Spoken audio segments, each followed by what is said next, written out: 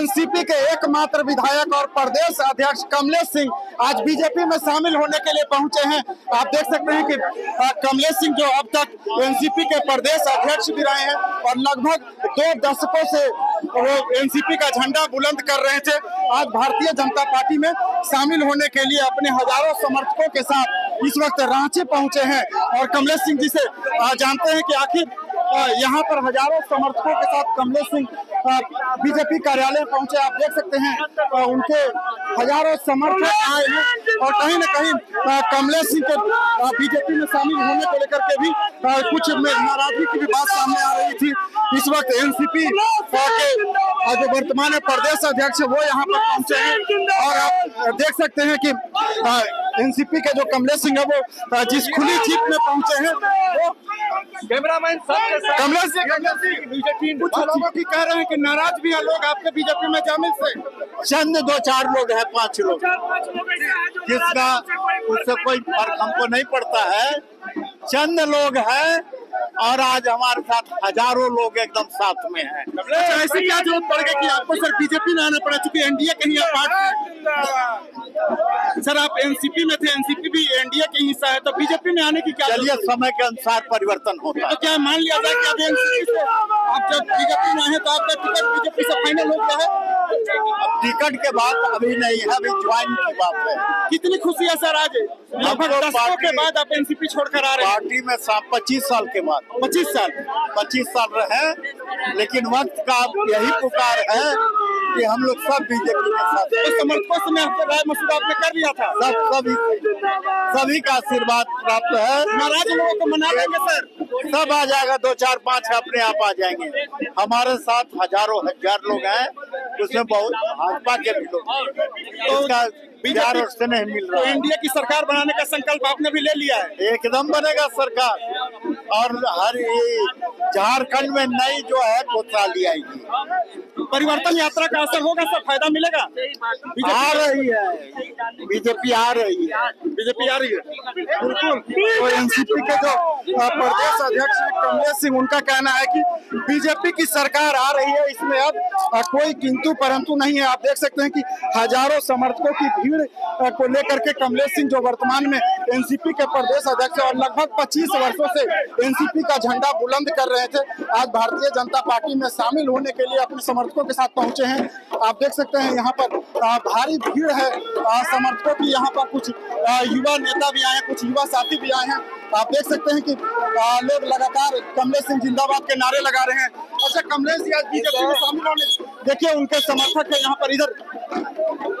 और लोग बड़ी संख्या में उनकी जो समर्थक है वो गाड़ियों का काफिला लेकर आए हैं।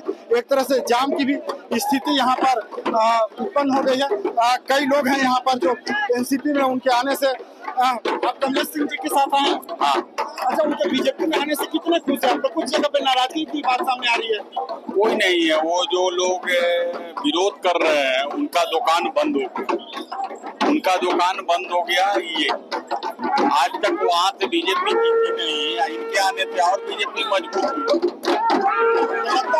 नाराज़ लोग उनको मना लेंगे। हंड्रेड परसेंट ये कहा जा रहा है कि इन पर जो भ्रष्टाचार का आरोप था, उससे बचने के लिए बीजेपी में जा रहे हैं, ऐसा भी लोग कह रहे हैं। अरे ऐसा नहीं, अगर भ्रष्टाचार का आरोप रहता तो दोबारा विधायक बनते। जनता तो नकार दिया है। तो जनता का इनको पूरा समर्थन मिला? पूरा समर्थन है एक लाख से जीतेंगे। एक लाख से जीतेंगे? बिल्कुल देखिए यहाँ पर हुसैनाबाद से जो लोग आए हैं उनका ये दावा है कि एक लाख से इस बार आ, कमलेश सिंह जीत कर विधायक बनेंगे।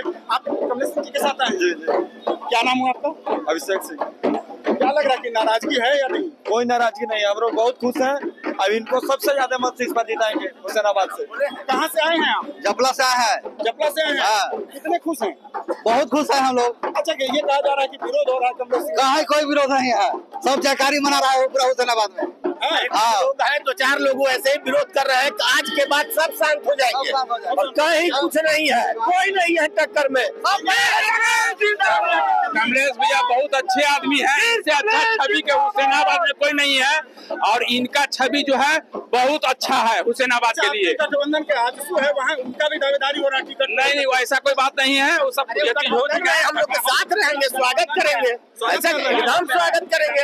आज वाले हमारे सारे एनडीए ये एक साथ है इनके साथ है बीजेपी जिंदाबाद कमलेश सिंह जिंदाबाद। अच्छा। इनसे अच्छा पार्टी जिंदाबाद। अच्छा। हाँ। देखिए बीजेपी कार्यालय के बाहर गठबंधन की पार्टी का भी स्वागत किया जा रहा है। भगवान हर तरह से पूर्ण पूर्ण इनको दिए हैं। ऐसा नहीं है कि एक अपनी ज़मीन देकर के हुसैनाबाद में हाई स्कूल बनवा दिए कमदारपुर में।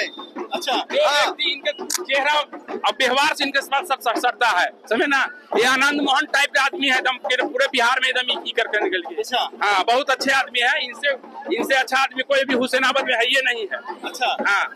बिल्कुल तो देखिए समर्थक है तो जी। बहुत कमलेश भैया व्यवहार कुशल आदमी है और इनकी व्यवहार से इनकी लोकप्रियता से ये लोग जितना आए हुए हैं इनकी लोकप्रियता ये बताता है कि अपने क्षेत्र में क्या है और कैसे है। ये तो अच्छा। बिल्कुल देखिए समर्थक है तो स्वाभाविक है कि ये कहेंगे कि हमारे जब नेता ज्वाइन कर रहे हैं तो उनके साथ और कहीं कहीं ये भी दावा हो रहा है कि एक लाख से ज़्यादा वोटों से ये जीतने जा रहे हैं। कई लोग यहाँ पर और भी आए हैं। कहाँ से आए हैं भैया? हरियरगंज से। आप तो गोल्ड मैन लग रहे हैं। ये लगे हुए हैं। Gold man. क्या लग रहा है कि फ़ायदा होगा बीजेपी एकदम फ़ायदा होगा नाराज़गी भी होगा। सामने आ रही है। क्या? कुछ लोग कह रहे हैं कि नाराज़गी है उनकी बीजेपी में नहीं जीत होगा। हंड्रेड परसेंट दो सौ परसेंट। हाँ। एकदम। जीत होगा दो सौ पर प्रमुख प्रमंडल हाँ। में कमलेश सिंह को आने से नौ को नौ सीट बीजेपी की होली में जाएगा। नौ को नौ सीट। पूरा पलामू प्रमंडल पूरा प्रमंडल में कमलेश सिंह को आने से हर विधानसभा में बीस हज़ार वोटों का विकास होगा। हाँ। कमलेश सिंह को आने से। बीस हज़ार वोट की। अच्छा। हाँ। देखिए उनके समर्थक और दावा कर रहा है। बीस हज़ार वोटों का विकास होगा। हाँ। कमलेश सिंह को आने से। बीस हज़ार वोट की। अच्छा। हाँ। देखिए, उनके समर्थक और ये दावा कर रहे हैं कि केवल कमलेश सिंह जी अपना ही सीट नहीं, बल्कि उनके आने से पलामू परमंडल की जो नौ से ज़्यादा सीट पर यहाँ पर जीत होगी, यानी नौ सीट यहाँ पर जीत जाएँगे केवल कमलेश सिंह के आने से, ये उनके समर्थकों का दावा है। कमलेश सिंह जी के समर्थक ये भी कह रहे हैं कि एक लाख से ज़्यादा वोटों से हमारी जीत होगी। खैर, कमलेश सिंह जी का बीजेपी में आने से बीजेपी को कितना फ़ायदा होगा? कमलेश सिंह जी को व्यक्तिगत रूप से कितना फ़ायदा होगा, ये तो आने वाले चुनाव परिणाम के बाद पता चलेगा। फ़िलहाल अपने समर्थकों के साथ यहाँ पर वो ज्वाइन करने के लिए पहुँचे हैं और अब वो सदस्यता ग्रहण करेंगे भारतीय जनता पार्टी की। के लिए रांची से मैं अशोक कुमार।